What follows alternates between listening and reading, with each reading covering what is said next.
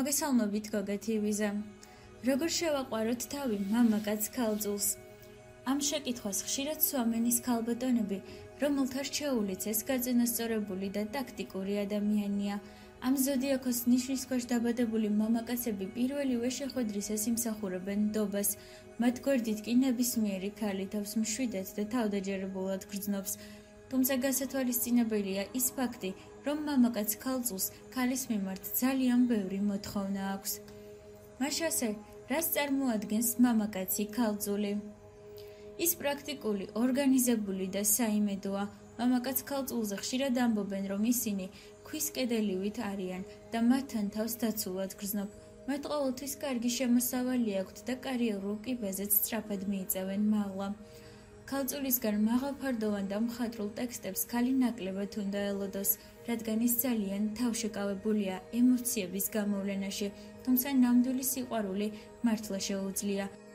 სწორედ ეს თვისება ხდის მას პოპულარულ საპირისპირო სქესის წარმომადგენლებში. მამაკაცი ქალწული ფლობს ღირსებათა მთელ ნაკრებს, ის ჭკვიანი შრომის მოყარე, პუნქტუალური და საიმედოა. ყოველივე ეს ეხმარება დასახული მიზნების მიღწევაში.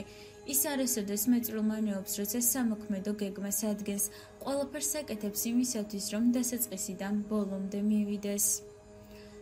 ამ მამაკაცისათვის იდეალს წარმოადგენს ქალი, რომელსაც აქვს მრავალმხრივი ინტერესები, კარგი გარეგნობა და კორექტული ქცევა, ოჯახში სიმყუდროვის და კომფორტის შექმნა, მაქსიმალურად თავშეკავებულად მოქცევა, საკუთარ გარეგნობაზე ზრუნვა, ყოველფრის კარგად აწონდაწონვა და გააზრება, ერთგულება და თავდადება, საყვარელი მამაკაცის უსიტყვოდ გაგება.